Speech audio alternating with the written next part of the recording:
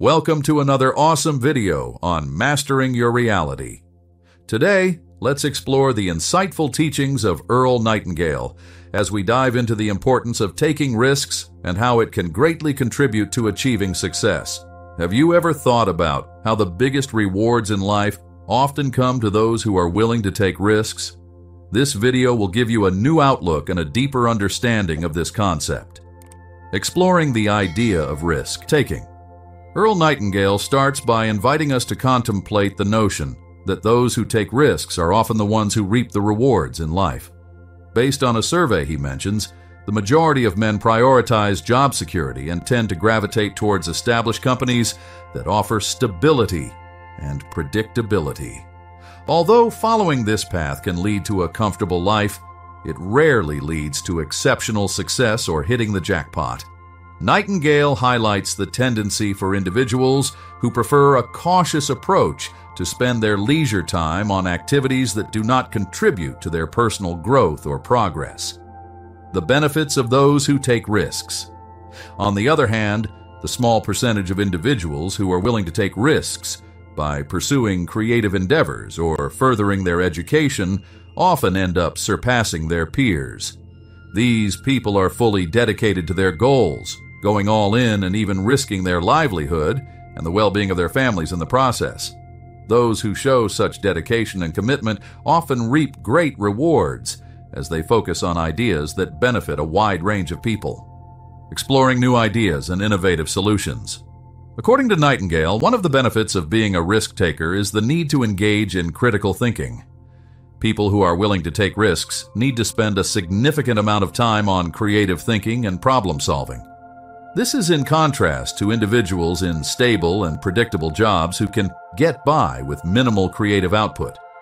It's interesting to consider that if someone spends a lot of time pondering, they may stumble upon some valuable insights. Perhaps they'll even discover a single brilliant idea that has the potential to completely change their life. Embracing the joy of laughter. Fear of ridicule often holds people back from taking risks. Nightingale tells tales of historical figures who encountered ridicule and mockery for their groundbreaking ideas. Take Alexander Graham Bell, for example. People actually made fun of him for thinking that it was possible to transmit the human voice over a wire. Can you believe that? However, his unwavering determination and unwavering faith in his idea ultimately transformed the world just like Elias Howe, who faced ridicule when he invented the sewing machine, and Robert Fulton, who endured scorn while developing the steamship. What truly defines success and failure?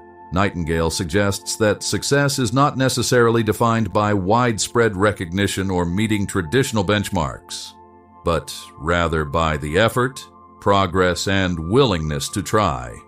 Failure, then, lies not in the absence of reaching our goals, but rather in the absence of setting them and making the effort to pursue them. This viewpoint offers a fresh take on failure and success, motivating us to chase our aspirations even in the face of potential setbacks. Taking risks, a worthwhile endeavor.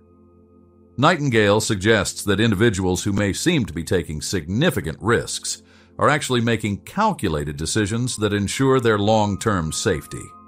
For instance, in World War II, research on American aces in the Pacific Theater revealed that the pilots who achieved the greatest success were the ones who were willing to take calculated risks. These individuals were extremely thorough in their preparation and equipment maintenance, yet displayed a fierce and resolute approach in combat, embracing the uncertainties of everyday life. It's important to embrace risks in every aspect of life. In various aspects of life, individuals who are willing to think outside the box and assert their convictions frequently emerge as frontrunners. It's important to change our perspective and start seeing failure as a normal part of the path to success rather than a devastating event. Motivation to take action. The message from Nightingale is quite clear. We need to be open to taking calculated risks in order to pursue our dreams. It's all about having a strong drive for our objectives, being well prepared, and having the courage to take action even when faced with the possibility of failure or criticism. Some of the most remarkable achievements are often made by those who are willing to take a leap of faith, even when they are uncertain about what lies ahead. Have you ever given much thought to the idea that the spoils in life go to the risk takers? If you'll give it some thought, I think you'll come up with the same solution I arrived at.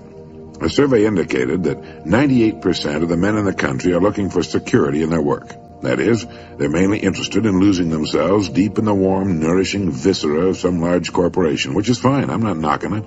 I'm just commenting on it. But these are not, as a rule, the risk takers. They're more the play it safers. And while they can have good and successful careers all their working lives, the chances are against their hitting the big jackpot. Now, the reason I say this is because this sort of life, as a rule, does not encourage a man to do much more than he has to do, and he'll usually spend his free time, which comes to something like 72 hours a week when he's neither working nor sleeping, in pursuits not calculated to help him get ahead in the world. Now, the man who risks his spare time writing a book, painting pictures, fiddling with inventions, continuing his education, is generally the one in this kind of milieu who will advance above his fellows. But the man who risks all of his time on a goal he wants to reach, on a dream in his heart, who stakes his livelihood and the livelihood of his family upon his own brains and the proper use of his time, and tackles the world single-handed, here's the risk-taker to whom the spoils will generally accrue. Now, I'm not talking about the impractical dreamer and stargazer. I'm talking about the man of action who gets out and raises the dust in the world. He might take some king-sized pratfalls and be snickered at by friends and relatives of a more conservative bent, but he'll usually make the grade if he stays with it, and earn their admiration, if not envy, before he's through. You know, one of the biggest factors in his favor is the size of the group he belongs to. According to the most reliable figures I can find, this risk-taker belongs to only about 2% of the population and since he's generally working on an idea that will in some way serve the big 98%, the odds swing rather favorably to his side. Additionally, a man on his own must think. He must devote more of his days to thinking. Conversely, the man with a good steady job who's familiar with his work and surroundings can go along pretty well from day to day without doing any creative thinking at all. And as I said, we have a tendency to do no more than we have to. Anybody who spends a good deal of his time thinking is going to come up with a good idea once in a while. The law of averages is definitely on his side. And if you'll think about it a minute, you'll realize that he only needs a few, maybe only one really good idea to make it big. Now, the more you think about it and analyze it, the more it makes you think that what appears to be the risk taker really isn't nearly as big a risk taker as you might imagine. The cards are stacked pretty well for him from several important standpoints. But as I said in the beginning, the spoils definitely go to the risk taker. Life is full of hidden contradictions. One is that the man who thinks he's playing it safe really isn't. And the man who seems to be taking the greatest risks, considering the law of averages, is playing it safest. People who do well in the world, being creative and willing to take a calculated risk, are people who manage to overcome the fear of laughter. Anytime you attempt anything in which you risk failure, you run the risk of having people laugh at you. A college professor worked for many years on an invention. He tramped all over New England trying to interest capital in his device for making the human voice travel along a wire. The people laughed at him. It was, of course, plumb idiotic, they said, to suppose that the human voice could be carried along a wire and heard for many miles or even for a single mile. But our old friend and benefactor Alexander Graham Bell could not be laughed out of it, and every time we pick up the telephone, we salute the man who stayed on course despite the laughter. Millions of people laughing in derision could not hurt us an iota, but we stand in mortal terror of it. Men and women who can prove themselves heroes in great crises tremble before derision. It's a queer quirk of human nature we probably develop as children. It has cost much. It's changed the history of the world. Sometimes the price of a laugh has meant the slamming of a door of fame and fortune, or even immortality. Elias Howe invented the sewing machine but it nearly rusted away before the American women stopped laughing about it and could be persuaded to make use of it. With their sewing done so quickly, they argued, what would they ever do with all their spare time? So a biographer paints a tragic picture. The man who had done more than any other to lighten the work of women was forced to borrow a suit of clothes on an occasion of a public appearance. Men are as bad as women when it comes to resisting new ideas. The typewriter had been a demonstrated success for years before businessmen could be persuaded to buy it. How could anyone have letters to write, they argued, to justify the investment of a hundred dollars in a writing machine? Only when the Remingtons sold patent rights to the Caligraph Company and two groups of salesmen worked in competition was the resistance finally broken down. Xerography faced the same kind of problem when it was first introduced, and other inventions have had similar battles. Here's an extract from a notebook of Robert Fulton, who invented the steamship who changed the world from sail to steam on the oceans of the world. He wrote, as I had occasion daily to pass to and from the shipyard where my boat was in progress, I often loitered near the groups of strangers and heard various remarks as to the object of this new vehicle. The language was uniformly that of scorn, sneer, or ridicule. The loud laugh often rose at my expense, the dry jest, the wise calculations of losses or expenditures, the dull repetition of Fulton's folly. Never did a single encouraging remark a bright hope, a warm wish crossed my path. Never did a single encouraging remark, a bright hope, a warm wish cross my path. And that's about what you can expect when you try something new. Emerson once commented that no one ever falls ill, but that passers-by idly hope that he will die. And the same perversity and built-in envy cause people to think or hope that any new idea or plan that runs counter to established principle will fail. Speaking of Emerson, he also wrote, Pythagoras was misunderstood, and Socrates, and Jesus, and Luther, and Copernicus, and Galileo, and Newton, and every pure and wise spirit that ever took flesh. To be great is to be misunderstood. You know, we tend to forget that the greatest people, the greatest writers, the greatest teachers, were for the most part in violent disagreement with their times and the way things were being done. We seem to have become so flabby in our acceptance of anything that we fail to do anything personally about what we see about it. Norman Cousins has written that the biggest issue of all in the years just ahead is not just the squandering of physical resources, but the squandering of human resources. What constitutes failure? What does a person have to do or not do in order to fail? Herman Melville died in 1891. He wrote the book Moby Dick, the whaling epic, with its tremendous metaphysical concept of evil, at the age of 30. The book was published in 1851, sold a few copies, and then was promptly forgotten except by the limited connoisseurs of creative writing. Melville lived 40 years beyond publication of Moby Dick. He considered himself and his book a failure, and from a publisher's point of view, Melville was right. Of his other novels, Billy Budd remained unpublished for 40 years after his death, and like Moby Dick, has since become a literary classic. Today, sales of Melville's works run into the millions, but there is no retroactive compensation for the author's troubled soul or shoddy purse. So what is failure? Failure does not come to a person because he is not recognized by the multitudes during his lifetime or ever. Our success or failure has nothing to do with the opinions of others. It has only to do with our own opinion of ourselves and what we're doing. The only person that can be called a failure is that person who tries to succeed at nothing. Success, as far as a person is concerned, does not lie in achievement. It lies in striving, reaching, attempting. Any person who decides upon a course of action he deems to be worthy of him and sets out to accomplish that goal is a success right then and there. Therefore, failure consists not in failing to reach our goals, but rather in not establishing them. Failure consists of not trying and certainly Melville and all the others who were not recognized until long after their deaths, were successful during their lives because of the fact that they strove all of their lives and gave to their work the best that was in them. And for every Melville that we read about, there have been millions of men and women equally successful, of whom we'll never hear. People who didn't write books or try to save the world, but who, in their own quiet way, in their own places, gave to what they had chosen the best that was in them. Melville must have known deep within himself when he finished the last page of Moby Dick that he had not failed. Just as each of us knows how much of himself he's giving to what it's been given him, what he has chosen to do. People who play it too safe take the greatest risks. Did you know that?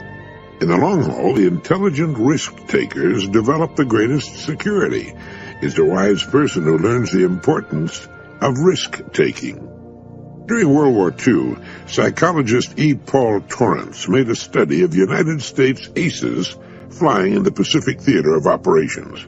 He reported that the most salient characteristic of the ace was his risk-taking ability. Throughout his life, he had kept testing the limits of his abilities, and the life histories of these men showed that they were highly resistant to accidents, and in combat they suffered fewer casualties than pilots who were inclined to play it safe. Dr. Torrance said, living itself is a risky business. If we spent half as much time learning how to take risks as we spend avoiding them, we wouldn't have nearly so much to fear in life. In all walks of life, the most successful people are the risk takers.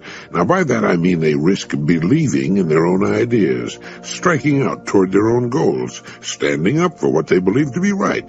They take the risk of being different when they believe in something. Now this has a tendency to make the going a little tougher for a while, but they almost always wind up ahead of the game eventually. Risk takers realize there's nothing wrong with an occasional failure. The play it safers seem to think a failure means the end of the world. The risk takers are not foolhardy. Getting back to the World War II aces for a moment, it was found that these men were very fussy about their airplanes, armament, and equipment. They were painstaking in preparation, highly disciplined in following instructions and what they had been taught. But in an encounter with the enemy, they would immediately take charge and go on the offense. The best defense is often a good offense. The best pass defense in football is to rush the quarterback. When a storm comes up, ships in the harbor head for the raging open sea unless they're protected in slips. In the harbor, they could drag their anchors and wind up on the beach or the breakwater. So what appears to be risk-taking is often the most intelligent course to follow. It leads to security, while what would appear to be the safest course of action can lead to disaster or simply nowhere. A young woman whose romance had gone on the rocks told her mother that she was never going to permit herself to fall in love again. You only get hurt, she said. And if you don't fall in love, her mother said, you don't live. It's another one of those risks the successful person is willing to take.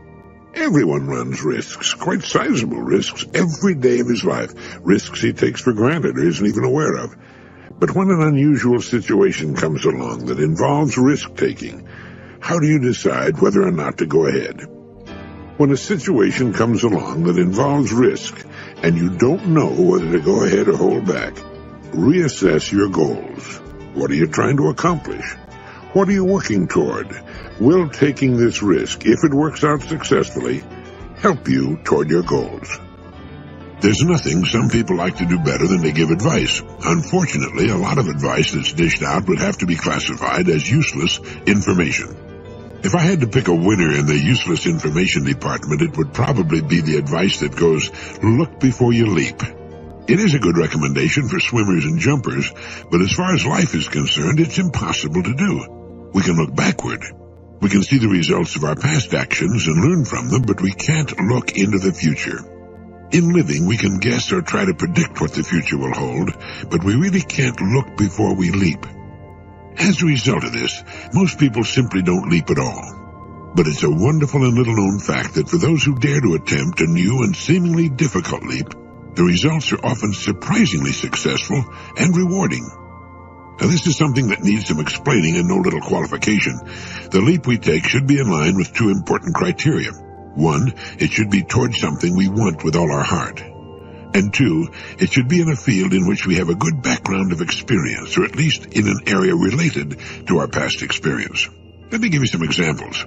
Lindbergh took the big leap when he flew nonstop across the Atlantic, the first one to ever do so. But behind him were years of flying experience, including flying the mail in all kinds of weather with virtually no navigation aids. He couldn't see into the future as far as his success or failure was concerned, with failure probably meaning his death, but he was well prepared for the leap, and it made him rich and famous. Columbus did the same thing. He wanted to do something that had never been tried before. He believed it could be done, and he was a highly skilled sailor and navigator, and he had the best ships then available for the journey. All human progress is the result of this kind of thing, and on a much smaller scale, the same principle can be applied to our lives. If there's something you want very much to do, if you know it's right, and if you're prepared to try it, the chances are excellent that you'll meet with surprising success. And after you've taken the big jump, you'll probably wonder why you waited so long. Of course, there's always the risk of failure. Lindbergh could have been killed. Columbus's little fleet could have met with disaster. Einstein might have been wrong. Washington might have been defeated and hanged along with all the signers of the Declaration of Independence by the British. But the fact is, they were not. It brings to mind again the great lines spoken by Thucydides in his funeral speech for Pericles. The secret of happiness is freedom, and the secret of freedom, courage. You'll never get elected unless you expose yourself to defeat. You'll never make it to second base if you try to keep one foot on first. You'll never achieve the dream in your heart unless you take the big jump and are willing to risk everything, even failure, on the attempt. If it's what's right for you and you've prepared yourself as best you can for the attempt, the chances are excellent that you'll meet with success. As Lincoln put it, let us have faith that right makes might, and in that faith, let us to the end dare to do our duty as we understand it. No, you can't look before you leap, but you can leap. Dr. Joyce Brothers has some good advice for the fearful. She points out that everyone is familiar with fear. Normal fear protects us and provides a warning signal indicating the presence of danger. A totally fearless person is probably not too intelligent and can look forward to a very short life. But when fear is inappropriate, it can stand in the way of progress and success. It can destroy love, create failure on the job, and interfere with our ability to relate well to others. Innovation and creativity involve risk, Dr. Brothers goes on to say. The person who's afraid to take chances, who's afraid of failure, is standing in the way of his progress. In fact, an emotionally healthy person needs challenge in life. Studies show that people who are cautious in the extreme, who are afraid to take risks even when the odds are in their favor, tend to be afraid of life itself, which of course is also a gamble. Such persons are not likely to succeed in business or anything else. So Dr. Brothers suggests that such people practice failure. How liberating it would be for the average person to be able to walk into a room, trip over a wastebasket, have all the people in the office laugh, and then be able to laugh with them. In fact, Dr. Brothers suggests that fearful people deliberately do such things to discover that an occasional failure is no disgrace, but rather a perfectly normal part of living. I remember when I was just starting out in radio, I managed to get the part of Sky King, the lead in the famous children's radio program of that name, and I'd often be asked to make public appearances for school children. One day I flew up to Michigan to greet and sign autographs for several hundred children allowed out of school for the event. I flew there in a small two-seater airplane. I was dressed in my cowboy costume, from the hat to the cowboy boots, gun belt, the works. As I was trying to climb out of the airplane cockpit in my unaccustomed costume, while the hundreds of children watched and waited nearby, I caught my heel on the cockpit coaming and fell full length on the wing. Then I did a slow roll off the trailing edge of the wing to the ground. My guns fell out, my hat rolled away, and a death-like silence fell on the children. There was their hero, sprawled on the grass. He couldn't even get out of an airplane. Well, I picked up my guns, put my hat back on, and with a sheepish grin from ear to ear walked to the waiting children. We all had a good laugh about it, and I signed the autographs, and all went surprisingly well. And as I flew back to Chicago, I thought about how often children fall, and that they could easily empathize with me. Don't lose your sense of humor, and remember that even though they may laugh, people are kinder and more forgiving than we generally give them credit for being. Risks and pratfalls are a part of life. So is an occasional failure in other ways.